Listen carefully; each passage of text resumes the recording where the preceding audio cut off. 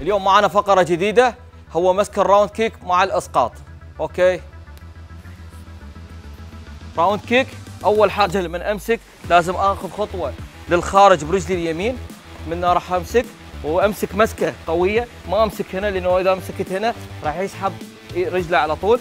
لازم لما أمسك أقفل هنا قفله كاملة بإيدي. راح يكون ضربة ال knee خروج رجل اليمين على فم المعدة بعدين يكون الضرب منه بالقصبة. وليس بمشط الرجل حيكون الرمي هنا بيكون بالقصبة مع إيدك تكون من فوق الرقبة وهنا يكون الضربة بتكون هنا الضربة وراح يسقط اللاعب. هون هنا حتكون هنا ني اسقاط. الفقرة الثانية عندنا راح نتكلم بها عن الركبة اللي تكون على الفخذ مع الدفع مع هجوم ني. وان هنا راح يكون مسك هو نفس الكلينش تلعب ني راح يلعب ني. وان راح ينزل. باثناء ما ينزل. راح يكون نقطة الارتكاز هنا. راح أدخل ركبتي هنا أني. راح أكون بدل ما أضرب هنا راح أضرب هنا. بهذه الحركة وأطلع ني برجلي.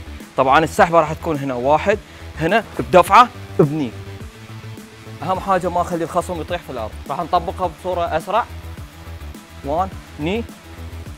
إيش؟ بوم! حركة مفاجئة للخصم. تؤدي إلى إسقاط الخصم. برجوع رجله الخلفية وتطبق الني. أهم شيء الخصم ما تلامس أطراف الأرض وأنت تنفذ الحركة بأداء حركي فني سريع. 1 هنا تكون. الفقرة الثالثة عندنا هو الدفاع على الركبتين بمنطقة القصبة مع الهروب من عندها خلينا نشوفها ونطبقها okay. طبعا هذه تستخدم أكثر شيء على الحبل. لما يكون اللاعب المقاتل يكون على الحبل فتستخدم. one. هنا راح يكون ال block تبعها من هاي المنطقة مسكة الراس مع الدفع في الوسط هنا تكون عشان يحرك رجلك ما يقدر يحرك رجله حاليا حاول تضرب. هنا المسكة تكون قوية. هنا بالضغط الرجل تكون مفرودة الوسط يكون مفتوح الإيد تكون هنا المسكة. عشان لا يضرب البو ولا يقدر هذا القفل تبعها. اسحب واحد اثنين اثنين. هنا القفل يكون يقدر إذا أني كنت سلبي وما أقدر أتحرك يقدر ينزل رجله هو وان ويضربني على طول يكون هو بحاله هجوم ويقفل. هذا هنا يخليك الحكم تلعب من ثانية إلى ثلاث ثواني. في حالة الهروب أنا راح أهرب. إيدي هنا راح أسحب إيده على طول. هذا الثبات ثبت إيدك. هنا راح أسحب رجلي اليسار على طول حهرب من هنا. إلبو أقدر أهاجم فيها.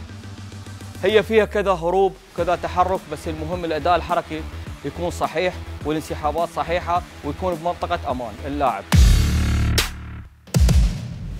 وفي الختام أحب أن أشكر جميع المشاهدين على هذه الحلقة النارية وأتمنى التواصل على مواقع الاتحاد الإماراتي للموي تاي والكيك بوكسين وعلى تطبيق ال UM.